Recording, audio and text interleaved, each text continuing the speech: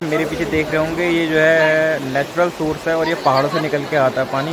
और तो टाइगर की साइटिंग बहुत ज़्यादा होती है। अच्छा। है कि ये तिमला है जो तिमुर जो मैं बताता फाइकस रॉक्सोबर्ग जो।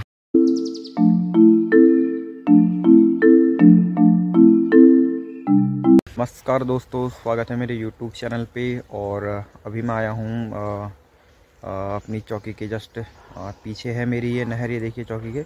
तो यहाँ पर जो है शंकर जी से मिलने के लिए आया हूँ क्योंकि यहाँ पर वो बॉडी सर्फिंग करा रहे हैं तो मैं देखने आ रखा हूँ। देखिए पत्ते इतने झड़े हुए हैं कि अब आप मेरी चलने की आवाज़ से देखो देखो आवाज़ इतनी आ रही है। तरफ़ हैं ये लोग ये देखिए यहाँ पर वो देखो वहाँ पर से जो है आएँगे और जो उधर पर जहाँ पर मैं खड़ा था दिख, दिखा रहा था आपको उधर पर तक ये लोग बॉडी सर्फिंग करते हुए जाएँगे।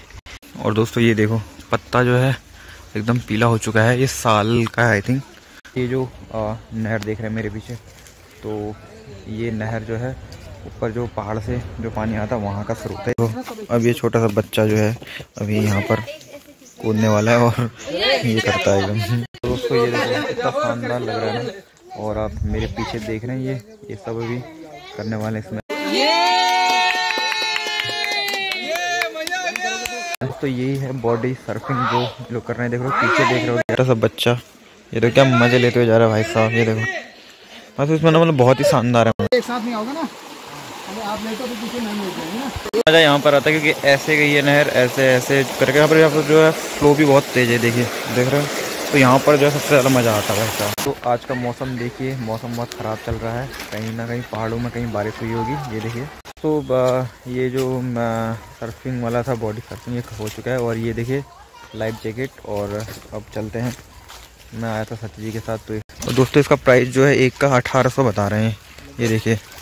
ये जो है सती जी जो शंकर जी हैं ये जो है बॉडी सर्फिंग हो गया कॉर्बेट नेशनल पार्क में नेचर गाइड हो गया और इनके पास दो तीन होम स्टेज हैं और बहुत सारे कुछ है मतलब ना आप और ये रेस्क्यूअर का भी काम करते हैं। तो दोस्तों ये देखिए अभी पहुँचा मैं इधर और ये देखो बकैन का पेड़ है, ये देखो पीछे। और आपको दिखाऊँगा, ये जो कैंप और पहाड़ी कल्चर का पूरा आपको मिक्सचर दिखेगा ये देखो।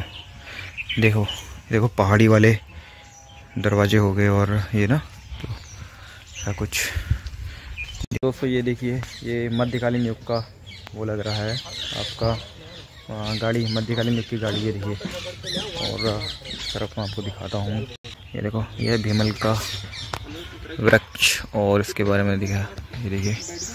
ये यहाँ पर जो है आपको जितने भी ये डिफरेंट डिफरेंट प्रकार के प्लांट दिखेंगे ट्री दिखेंगे और इसमें जो है इनने ये चीज़ अच्छी कर रखी है कि, ये देखिए, यहाँ पर जो है हर किसी ट्री के नीचे जो है एक साइन बोर्ड जैसे यहाँ पर ये जो ट्री है ना, इसका साइन बोर्ड लगा के, ये तिमला है जो, तिमुर जो मैं बताता फाइकस रॉक्सोबर्ग जो पहाड़ में आपने देखा होगा, तिमुर के जो वो होते हैं ना, ये देखिए।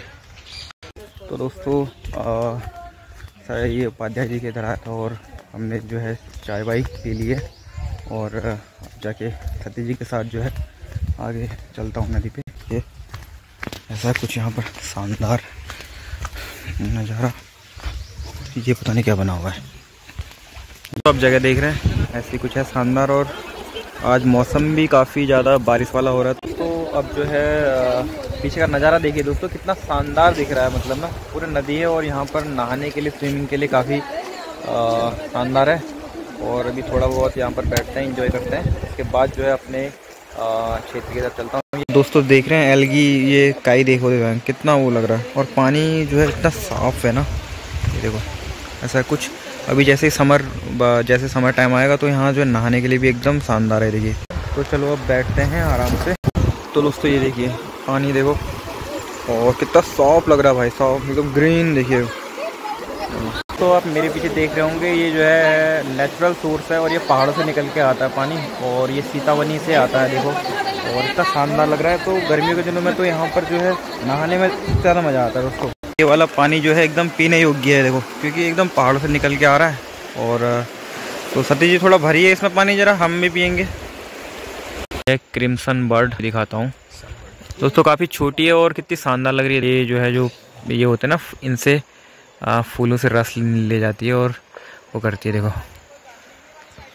इसका नाम क्रिम्सम, क्रिम्सन सनबर्ड है। ये देखिए। फोडिया ये जो देख रहे हैं, बड़ा शानदार लगता है। वुड फोडिया है ये जो देख रहे हैं आप। एकदम कलरफुल रहता है। इस तरफ़ काफ़ी है।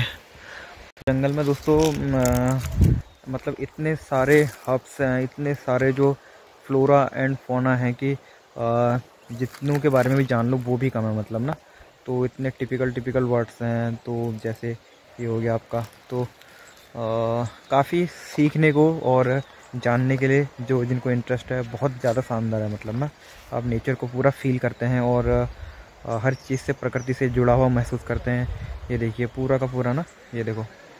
क्या शानदार लगता है मतलब? को दिखाया था मैंने पिछली बार वाइल्ड नैपकिन तो अब इसमें जो है वो आने लग गया फ्लावर टाइप में तो ये वो है देखो काफ़ी सॉफ्ट रहता है ये देखिए।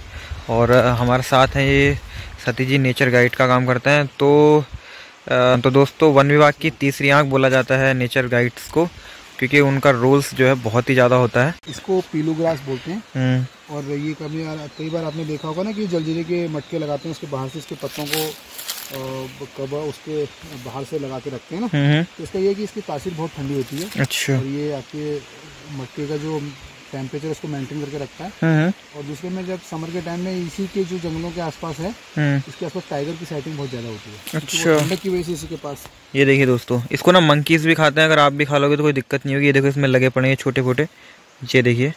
और तो दोस्तों बोलते हैं पीलू ग्रास ये देखिए।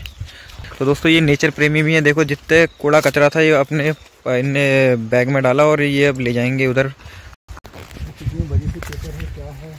तो दोस्तों अब हम चलते हैं अपने घर की ओर और, हम इधर आए हुए थे थोड़ी देर इंजॉय के लिए। और अब चलते हैं खाना वाना खा के।